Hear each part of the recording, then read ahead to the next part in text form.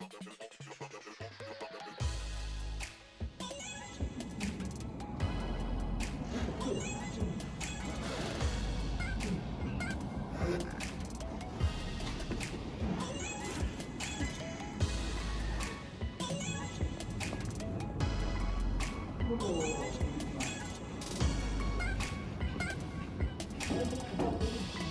it's not.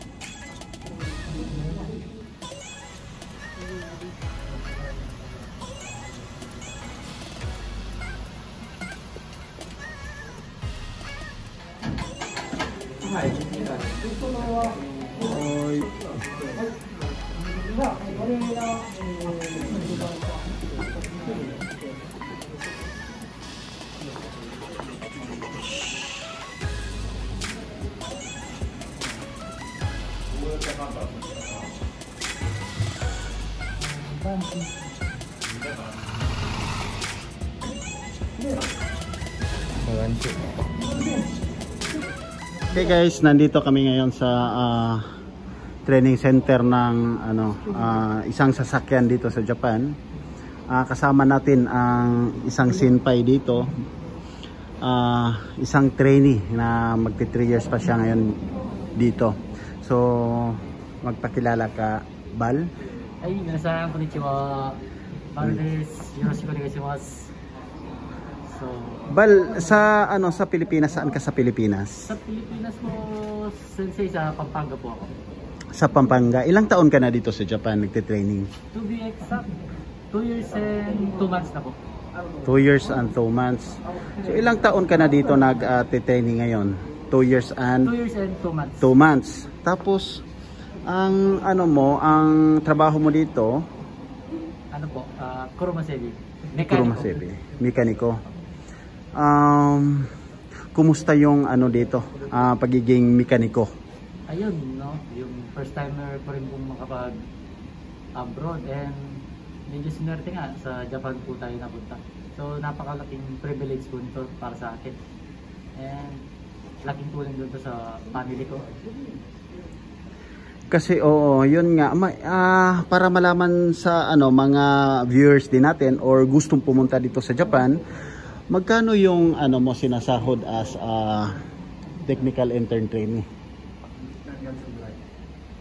So as of technical intern training po, so usually sumasahod kami ng almost nasa 50k 50k 50,000 pesos sa Philippine money 50,000. Yun is ano na, walang anong ano siya, walang ah, kumbaga wala siyang overtime. ah wala pa pong overtime. Ah, okay.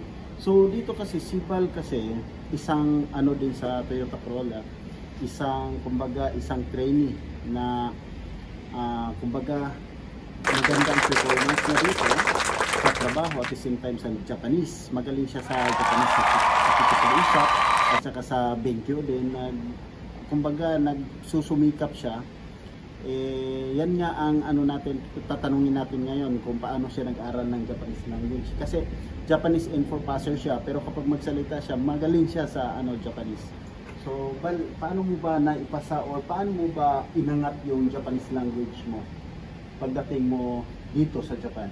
So yun po, no, nag, bali, nag-aral kami ng almost 3 months sa PEA sa Pilipinas.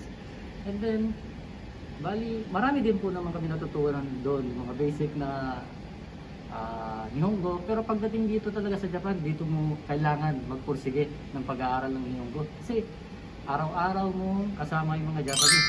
Especially kami. Apat kami unang dumating. Tag-isa-isa po kami ng dealership o hiwa-hiwalay kami. So wala kami masasaligan kundi sarili mo lang. Kaya kailangan mo mag-study talaga ng Nihongo. Yun, tapos si Bal din, ah Bal, sa ano mo dito, sa way of, ah, ano, araw-araw, paano mo inaral yung Japanese language? Dito, eh, kasi, eh, ano, siyempre, trabaho nyo, may trabaho kayo, at the same time, nag-aaral ka, paano mo, ano yun, paano mo minamanage yung oras mo? Ayun po, pag may mga yasumi kami o yung rest day, so fortunately, kasi po malapit yung pumihay namin dito, yung company na nakahandle sa amin dito sa Japan. So pumupunta po kami, kami apat ng mga kasama ko sa NTIC Center with the help of Mami Sang. Uh, good regards po kay Mami Sang. Yun po yung pinaka-teacher namin sa NTIC. Nag-aaral kami doon. And then isa po po yung pag sariling study rin po. Yung mga Benkemono na binili namin, mga Japanese book, and yun po yung sa nanonood din kami ng YouTube sir. Ah, oo. Yun kasi isa din yun. Ang materials natin, yung YouTube. Tapos yun nga, sabi niya kanina, nagpini- talagang ang sarili na sinesend nila sa pag-aaral. So nagpupunta sila sa Kumiyay or yun ang handle na agency dito para mag-aral ng ah, Japanese language. Tapos sa ah, sa ano naman the communication ah, may mga kasamahan kasi silang Japanese language prone sila sa communication kasi ano sila eh ka, ah, maintenance um uh, Jido sa Sebi na siya sir. Oo, so sa maintenance sila ng mga sasakyan dito. Kaya yun. Ah, pasalamat din ako kay Bal. Bal, salamat. Tapos anong mai advice mo sa mga gustong pumunta dito, mga trainees na nag-a-apply ngayon or yung hindi pa nag-a-apply na mga trainees sa Pilipinas? So yun nga po no kung papala rin na magkaroon ng pagkakataon napakaganda po ng opportunity na naghihintay sa inyo dito sa Japan. May experience ka man o wala, maaari kang makapunta dito as a technical letter trainees. Basta po pumunta lang tayo sa mga legit na ah, agency sa Pilipinas. And shoutout po sa PEA, Prudential Employment Agency. So legit po siya. Yun Yan po. yung ano niya, agency sa Pilipinas, ang Prudential Employment Agency na matatagpuan sa Las Piñas. At saka dito, pagdating dito, meron kasing accepting organization. So, kami yon kami yung taga-accept dito. So, yun nga, ang Prudential Employment Agency, kapag gusto niyo mag-apply, pwede kayong pumunta sa ahensya nila. So, yun lang. Salamat. Maraming salamat din po. Salamat. Hello guys, what's up? Nandito tayo ngayon. Isa sa ah, trainee dito sa Japan, nagtatrabaho as um, maintenance. Uh, dito siya sa AB. Mm, so, car maintenance. Nagtatrabaho dito sa Japan. So, may nakilala din tayo dito ah, na isa sa magaling na trainee dito na nagtatrabaho dito sa Japan. So, magpakilala ka din. Hi, ako po si Jeno Sumbanya, uh, trainee dito sa Japan, magtatatong taon na next year, by March. Eh, yung company namin is, uh, yun, dealer siya ng, ng sasakyan. Actually, naka-uniform ako ngayon. Yun, uh, sa unang araw, medyo mahirap. Pero, kakayanin, kakayanin. Mm. Tapos ngayon, yung ano, regarding sa ah, ano mo ngayon, ah, kumbaga trabaho mo ngayon, kumusta naman yung trabaho mo dito? Yung sa simula, medyo mahirap kasi regarding sa communication, yun yung boundary eh, ng Hmm. Nihongo. Tsaka, nung pagpasok namin dito kasi yung Nihongo namin, yung level talaga medyo mababa. Mm. Siguro yun yung pinakamahirap na una sa una. Pero, yung mga hapon naman, ah, lagi nila kami tinuturuan, laging ginaguide kung saan yung mga weakness namin. So, until yung communication, yung relation, naging maayos. So, kami rin, sa awa ng Diyos ngayon, naging okay na rin. Ah. So, um, ano ba yung magkano ba yung ano inaabot ninyo sa sahod ninyo dito? Ah, buwan-buwan. Basically sa amin, kasi wala kaming overtime. So, Gross. Sa gross lang talaga kami. Sa unang, na, sa unang taon namin, dun per hour kami. Ah. So, ngayon, nagiging per month kasi kami. So, nagbago yung, yung tila pa dati, nagbago ngayon. So, may pagbabago sa amin. Yung kunti lang naman. So, ang gross ninyo, mga magkano kaya? Mga aabot ng 16, ganun, 15 kalapad. Tapos, ang net, aabot ng 10, ganun. Yung sa 12. unang taon namin dito, yun, lumalar 15 yung gross namin, 15, Mm. 16.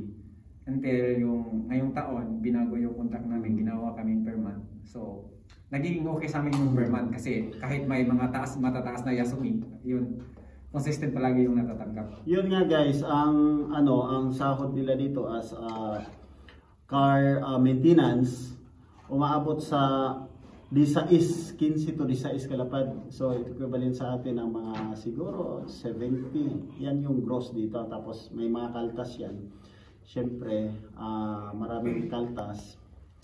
Siguro malinis siguro, abuti ng 10 mahigit. Ganon. 10 lapad, equivalent to 50,000 pataas. Hindi naman siya pagawa ng 50,000. So ngayon, ang ano, ang company kasi nila nandito Toyota Corolla. So dito party ng Mieken. Ah, next, paano ka natututo ng Japanese language? 'Di ba ang Japanese language mahirap dito, mas lalo na kapag bago kayong nakalapag dito sa Japan. Yan yung mahirap pag-iisipin mong mahirap. No. Oh. Pag-isipin mo kaya mo, naka, kaya ng iba, pag-isipin mo kaya ng iba, kaya ko rin to. So, medyo da- madadali siya. Lalaanan mo lang siya ng oras ng konti na pag may oras, gano'n.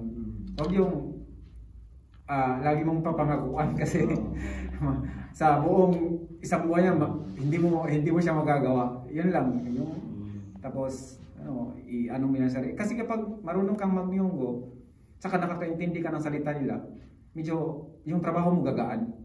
Kasi alam mo na yung rotation eh, alam mo na kung paano. Yun kasi yung mahirap pag hindi ka marunong magsalita, lagi ka lang nakasalalay sa kanila. Tapos yung trabaho mo, ma- tatagal, lagi kang umasa sa kanila. Kaya nung time ko, talagang nagsikap ako na kahit konti man lang ma- makapagsalita, makaintindi. Para at least may sarili akong trabaho. Yun lang. Yun nga, yun nga yung ano niya, ah, paraan paano siya natututo. Actually, si Gen, isang JLPT for passer, nag-iisip din sila para mag-take ng mag-update ng JLPT nila, Japanese Language Proficiency Test, ah, entry hanggang umabot sila sa ano ah, high level. At saka, yun nga, gusto pa nilang, gusto mo pang manirahan dito, gusto mo pang mag-extend. Oh, kasi Dito sa company ni. Butcho, parang okay din eh. Kami, Ah. kami apat. Oh. Yun nga guys, ah, again, ah, maraming salamat. Yun lang, anong maipapayo mo sa mga hindi nakarating dito, hindi pa nakarating dito at gustong mag-apply pa sa dito papuntang Japan? So anong maipapayo mo sa mga trainees na gustong pumunta dito at saka yung nandito sa Japan? Yung mga gustong, o yung una, yung mga unang gustong gustong pumunta dito sa Japan, nakarating kami ng Japan, so kayo kumakain din kayo ng bigas, parehas lang tayo. So, kung gusto niyo makarating ng Japan, pwede, makarating kayo ng Japan. At saka marami namang company na i-guide kayo. Hanap niyo lang sa YouTube, halimbawa itong YouTube na to, hahanapin niyo lang.